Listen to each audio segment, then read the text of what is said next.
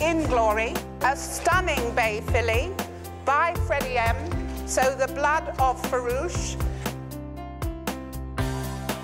Look at the activity, look at the expression and the uphill tendency and really good, quick hock action behind.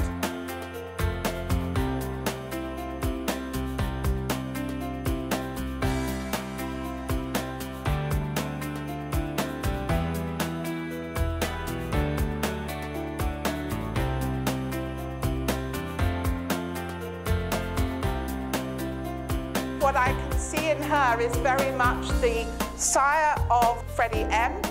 So I can see really the roundness from For Compliment, who is now a successful Grand Prix horse. And I think a really pretty face, and Freddie M has a gorgeous face.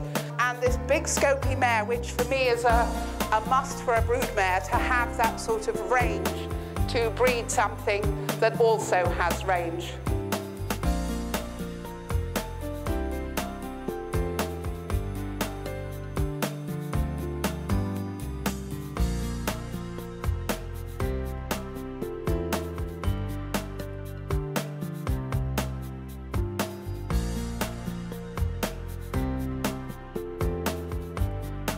This is a stunning, stunning filly, really elastic, everything that we could have hoped for.